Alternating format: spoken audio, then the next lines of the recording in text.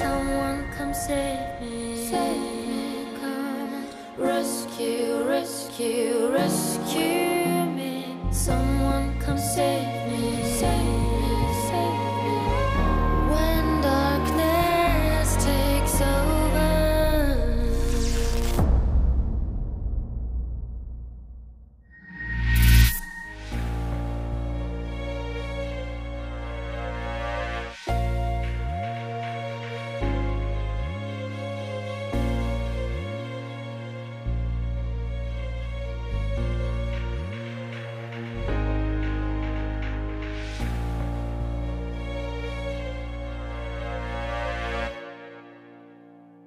Warte noch schnell, Papa, ich bin noch nicht fertig. Kannst du jetzt kommen? Okay. Langsam, langsam, langsam. Hey, hey, hey, langsam. Et voilà. Happy birthday to you. Happy birthday to you. Happy birthday, liebe Mama. Birthday to Ich bin alle so schön, die zweite Stimme. Ausblasen, ausblasen, ausblasen, ausblasen. Danke, dass Sie sich Zeit nehmen, Herr Berger. Gerne. Das ist gut. Kamera laufen.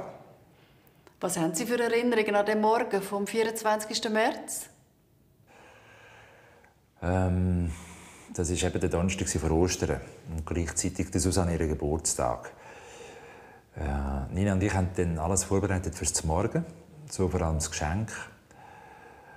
Und ja, wichtig ist vielleicht noch, ich habe damals schon gewusst, dass äh, Nina das Tablet, also das Geschenk, äh, vor allem für sich wollte haben. Ich habe gedacht, wenn der Susanne daheim bleibt, was soll's, dann kann sie darauf lesen oder kann dann die kleinen. Und, und darum hat sie das Ding dann eben auch bekommen. Und Nina war unglaublich stolz, gewesen, dass sie für ihren ersten Geburtstagsfilm drehen durfte. Die Mama ist am Kräutertee trinken. Und der Papa? Papa, was machst du da? Ich schaue, ob mein Flugzeug pünktlich ist. Komm, komm schauen. Siehst du da? Flug nach Amsterdam und verspätet. Dann kannst du ja noch ein bisschen da bleiben. Genau, noch ein bisschen. Auf jeden Fall genug lang, dass ich dir das Ding wegnehmen kann. Nein! Das gehört nämlich der Mama. Nina! Nina, gib mir das an! Ciao!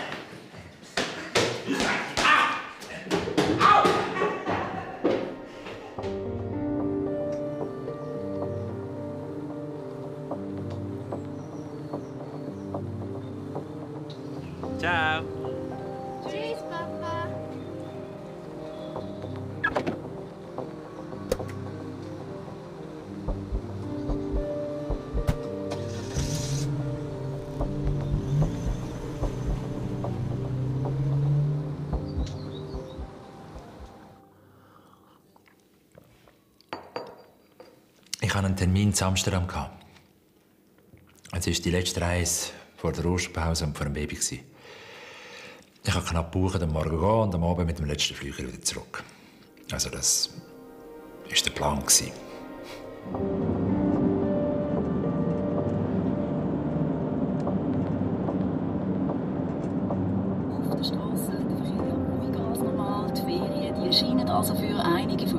Angefangen zu haben. Aber es gilt, ihr wisst es wie jedes Jahr, ab heute Nachmittag wird es voll. Der Osterreiseverkehr der kündigt sich an. Auf der Straße Süddeutschlands schon dichter Verkehr und ein paar erste Staumeldungen.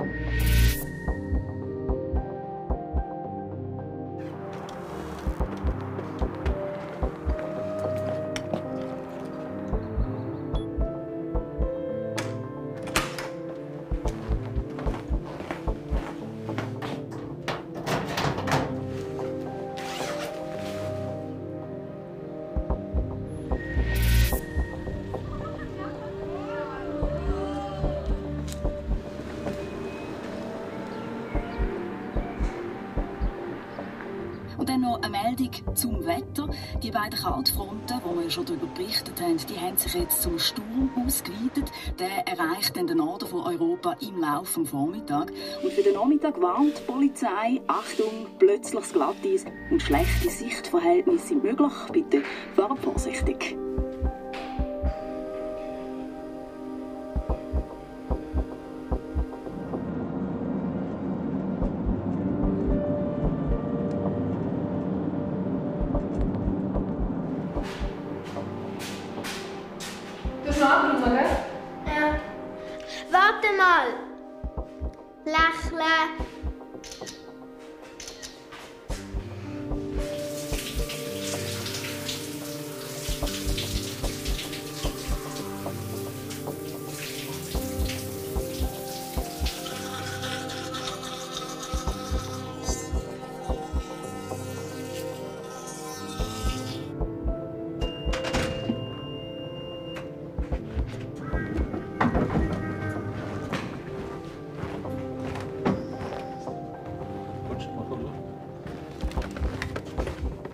Kopf der Zahl, mich jetzt getroffen. Das heisst, keine Skiferien, sondern an Ostern arbeiten. Das ist Ostern und Weihnachten schafft niemand gern wegen der Familie. Und der Ostern, die Schicht, die lässt sich nicht von selber fahren. Es ist eine grosse Aufgabe, das Netz stabil zu halten. Und ich wusste, wir haben noch ein anderes Problem. Seit dem Herbst es fast nicht mehr geregnet. Und Betznau war in Revision.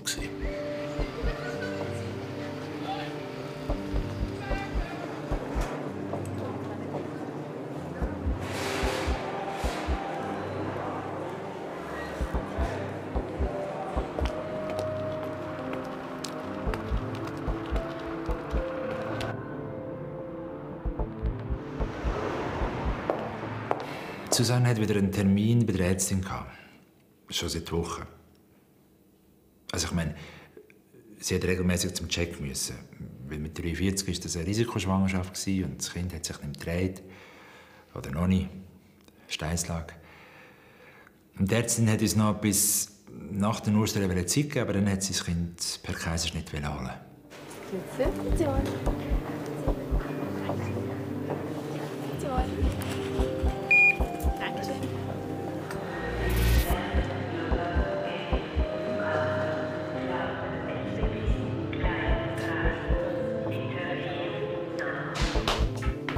Grüezi. Frau Feditsch, danke, dass Sie sich Zeit nehmen. Kann schnell Platz geben? Also Platz nehmen.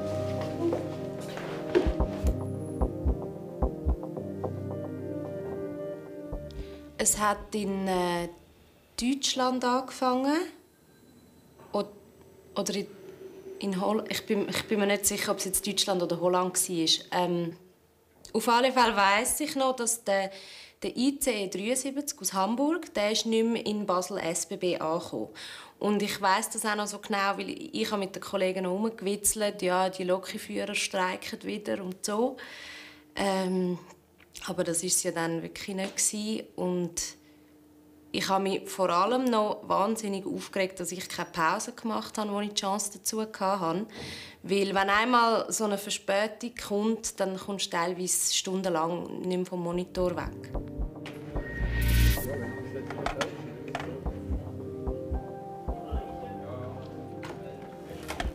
Ja, der ICE 73 aus Hamburg, der hat jetzt schon eine Stunde Verspätung. Ich bin gerade am Flughafen Schiphol angekommen und dann wollte ich Susanne noch hören. Sehr aktiv gerade im Moment. Es ist ein bisschen, ein bisschen verschwommen, aber ich geht schon mal. Ja, jetzt sehen Sie hier gerade den Kopf von oben. Ah, Schöne Perspektive. super. Und jetzt da haben wir das Herz. Ja. Zuerst läuft alles ganz normal, wie wir es gewohnt sind. Und plötzlich, von einer Sekunde auf die andere, brennt es an allen Ecken und Enden.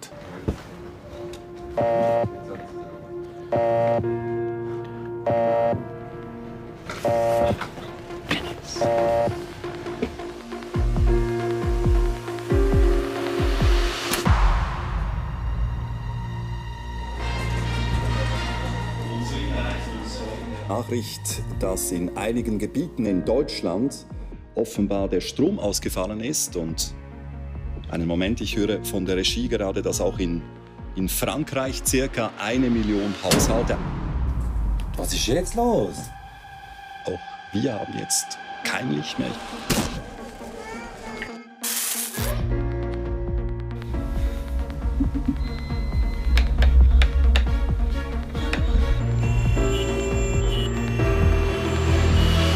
Ich weiß nicht, ob wir überhaupt noch abbrechen. Wir haben totalen Stromausfall. Es war schon noch verrückt. gewesen. Also, du stehst der in diesem Studio innen, redest über etwas, berichtest über etwas.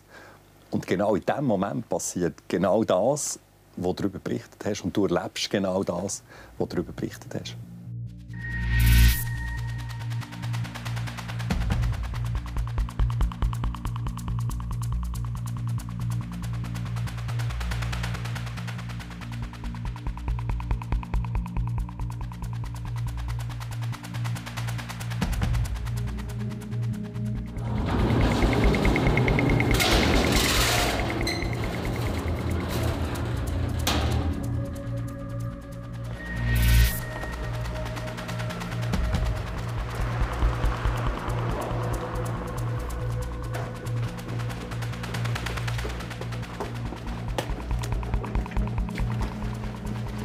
Nach einer halben Stunde rücken Vertreter der Rettungsorganisationen und der Behörden in die Zivilschutzanlage ein, wo sie mit Notstrom arbeiten. In der Krise ist dieser Stab für Versorgung und Schutz der Bevölkerung zuständig. Noch gehen alle von einem Routineeinsatz aus. Ich habe beim Blackout sofort alarmiert. Ich habe mir gesagt, wenn ich nicht alle brauche, wenn die Situation nicht so dramatisch ist, kann ich ja die, die ich nicht brauche, wieder heimschicken. Herzlich willkommen. Ich habe den ganzen KKS aufgeboten, seit nach einem Blackout aus. Äh, Ich bitte euch jetzt, dann äh, gemäss unserem Prozess anzufangen mit der Informationsbeschaffung. Rapport, Startrapport 14.00. Treffen wir uns wieder. Jedes Ereignis beginnt mit einer Chaosphase, so auch in diesem Blackout. Es ist sehr schwierig am Anfang zu wissen, äh, was Sache ist, weil uns fehlen Informationen, wir haben gar keine, wir haben widersprüchliche oder wir haben ungenaue. Und ohne dass man nicht weiß, was Sache ist, agiert man entweder in die falsche Richtung oder hinkt im Ereignis einfach hinten drin.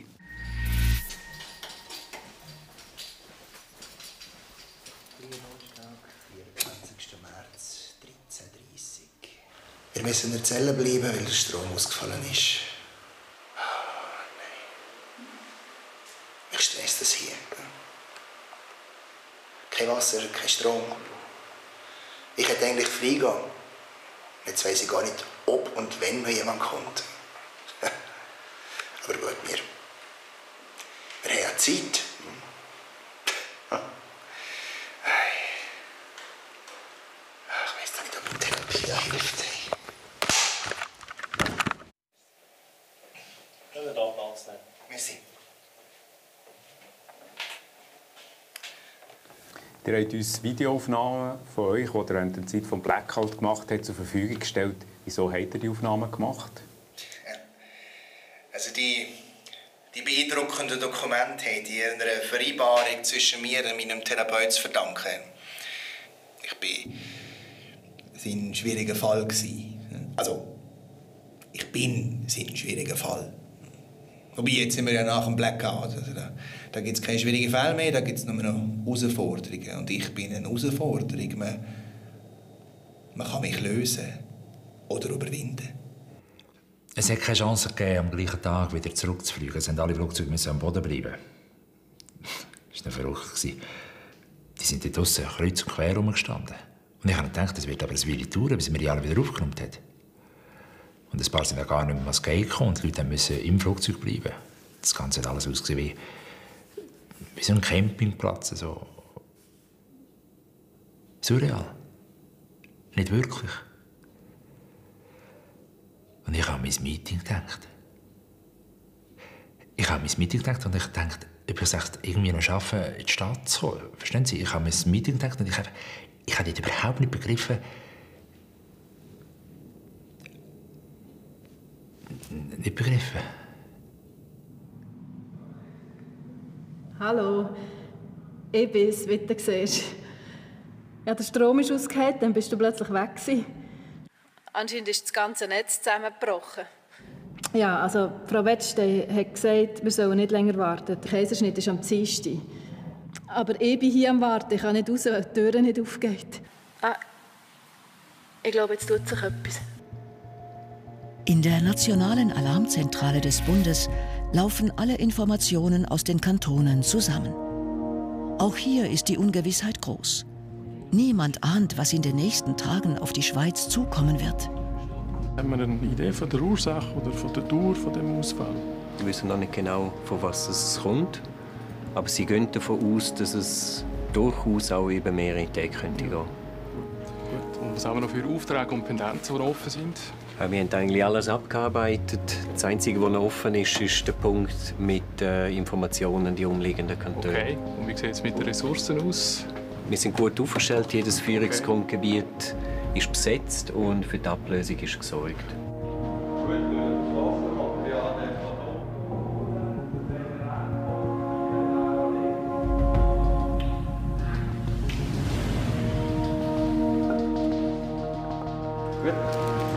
Musst du schnell schauen? Ist alles gut bei Ihnen? Ja, ja, danke. Zum Zeitpunkt des Stromausfalls da bin ich sechs Wochen vor meiner Entlassung gestanden. Also, also eigentlich schon im offenen Vollzug. Ich habe tagsüber im Altersheim geschafft. Und an dem Tag habe ich eigentlich wie immer in der Zelle gewartet, bis mich jemand abholt. Aber die Wärterin nur meint, es bleibe jetzt alles geschlossen. Und ich habe mir dann zuerst mal noch ein- eingeredet, es sei nur eine Übung. Ich habe es, glaube ich, sogar noch aufgenommen mit der Kamera. Mhm. Tja, was soll ich sagen? Hm?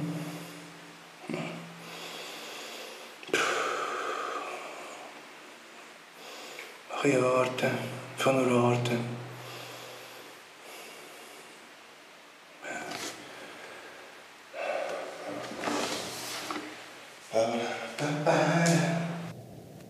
Aufnahme sowieso nicht mehr sehen. Keine Lust drauf. Oh ja, schnell aber bitte.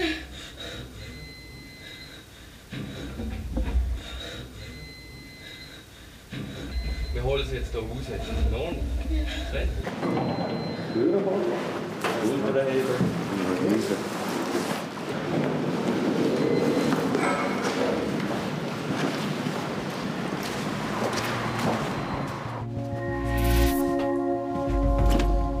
Das öffentliche Telefon- und Handynetz funktioniert nicht mehr. Radio SRF stellt für den Bund die Information der Bevölkerung sicher. Dank Notstromaggregaten sind die Radiostudios sendebereit. Also es hat ja auch praktisch niemand mehr Fernsehen schauen und dann haben wir uns gesagt, jetzt konzentrieren wir unsere Kräfte aufs Radio machen. Und bei mir persönlich ist es so, dass ich vor dem Fernsehen, also bevor ich angefangen habe, beim Fernsehen zu arbeiten, beim Radio gearbeitet habe. Darum ist es wie eine Art des Heimkommen. Für alle, die da draußen im Stau stehen, es wird nicht besser. Der Helikopter des TCS ist in der Luft, seit der Strom ausgefallen ist. Und es sieht aus, als müsste es noch lange schlimmer werden, bevor es besser wird. So eine Strompanne habe ich noch nie erlebt. Also Stromausfall, ja, das ist klar. Aber äh, das Problem da ist vor allem die Menge gewesen und dass nicht einfach ein Zug stillgestanden ist. Plus, ich hätte das einfach in der Schweiz nie erwartet.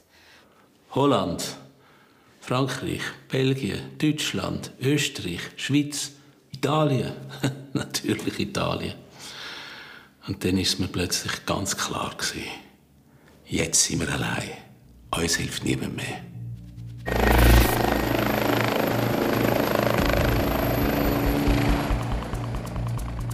Ja,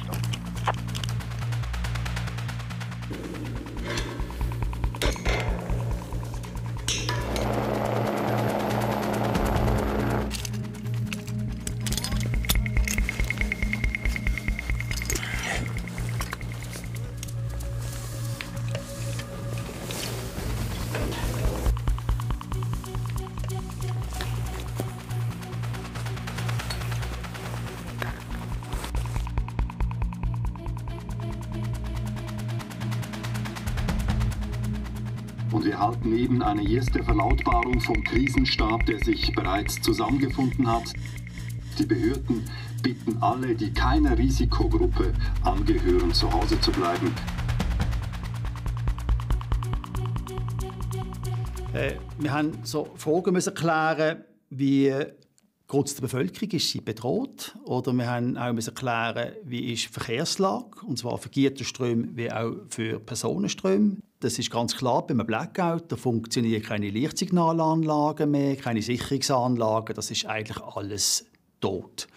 Und der Verkehrsteilnehmer muss sich eigentlich auf die Signalisation äh, konzentrieren, Tafeln und die Strassenmarkierung, die rum sind. Oder? Bei den Tunnel ist es so, dass es dort einen Plan gibt, dass äh, man Tunnel beschränkt kann befahren kann. Das heißt, es gibt äh, Auflagen, zum Beispiel Geschwindigkeit reduzieren oder nur eine Spur benutzen.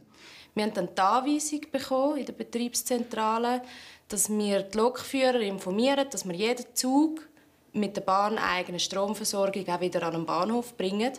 Aber wir haben dann natürlich nicht innerhalb einer Minute das allen können sagen. Und äh, das ist dann auch das, was die Kunden nervt. Oder? Du sitzt im Zug, der Zug steht still und eine Zeit lang weiss niemand, was läuft.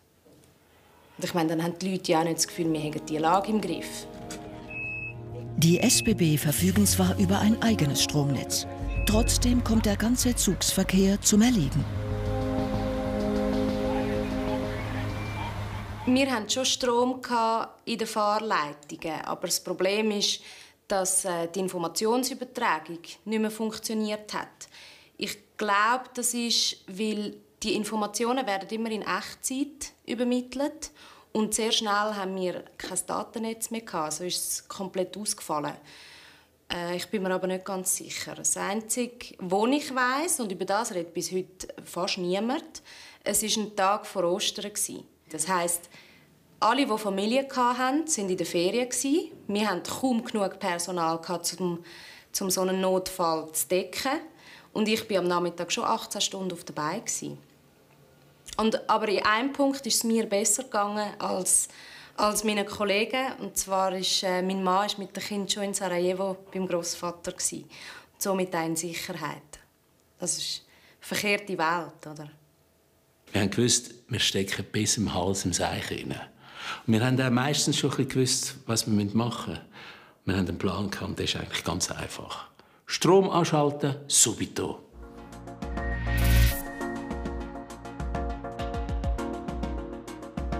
Auch Kraftwerke benötigen Strom. Sie sind ebenfalls vom Blackout betroffen.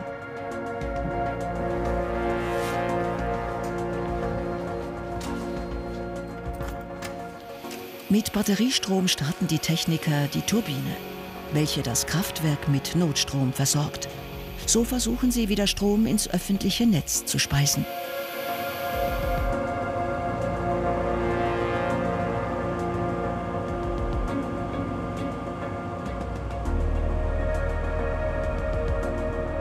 Es hat dann einfach nicht geklappt, unser Plan.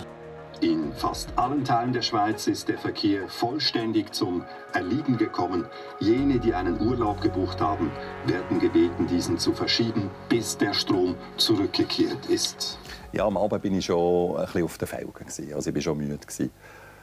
Weil du schaffst den ganzen Tag, weißt eigentlich nicht genau, was passiert. Du weißt auch nicht, was kommt. Und wo wir dann gehört haben, dass ganz offiziell der Ausnahmezustand ist ausgerufen wurde, da waren wir fast ein bisschen froh gewesen, dass wir etwas Handfestes haben, dass man den Leuten, unseren Zuhörern, auch etwas sagen kann. Liebe Therapiekamera, heute komme ich bei Mäusen. Der Strom ist weg und bleibt weg. Bitte bewahren Sie Ruhe, das ist keine Übung. Halten Sie sich an die Anweisungen vom Sicherheitspersonal. Ja, ja. Und jetzt sagt das einmal einem, der gerade mal seit acht Wochen von einem Aufputschmittel weg ist. Ich habe die ganze Nacht Panik geschoben, keinen Sock gemacht. Eigentlich bin ich, bin ich recht gefasst gewesen. Also ich das Ganze überhaupt nicht dramatisch genommen oder so. Klar, es ist, es ist, äh, es ist unwirklich gewesen. spooky. Also so wie ein Abenteuer. Weil es ist ja, ist ja noch verrückt. Ich meine, man ist mit in Europa, hat aber überhaupt keine Ahnung, was im Rest von Europa los ist. Du hast nicht einfach können... Das hast du ja noch nie... Also, habe ich noch nie erlebt. Also habe ich mich auf die Nacht gestellt. Ich hatte dann so drei Sitze beleidigt und... Und kurz vor dem Einschlafen habe ich das erste Mal gedacht, was ist eigentlich, wenn ich es nicht rechtzeitig schaffe? Hey?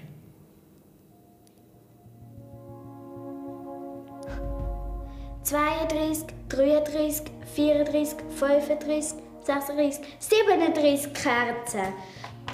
Hallo, Schatz. Hallo Papa, wir haben seit dem Nachmittag keinen Strom mehr. Trotzdem haben wir es sehr gemütlich. Nur die Alina hat doch ein bisschen kalt. Also, lieber Thomas. Papa! Jetzt, du kannst nachher noch mal etwas sagen. Wir wissen nicht, wo du gerade bist. Wir haben es ziemlich aufregend hier. Äh, vom Raffi haben wir gehört, ist unserem Nachbar, dass im Moment das ganz Europa ohne Strom ist. Das ist unglaublich. Ja, ich hoffe, du bist irgendwo im Warmen. Eine Taschenlampe hast du sicher bei dir, so wie ich dich kenne. Also, wenn das so weitergeht, hole ich morgen den Gaskocher rum raus. Papa, ich darf heute neben der Mama in deinem Bett schlafen. Nina, nimm doch die Taschenlampe und geh schauen, wer von deinen Tierchen alles bei uns muss schlafen Okay. Tschüss, Papa. Tschüss.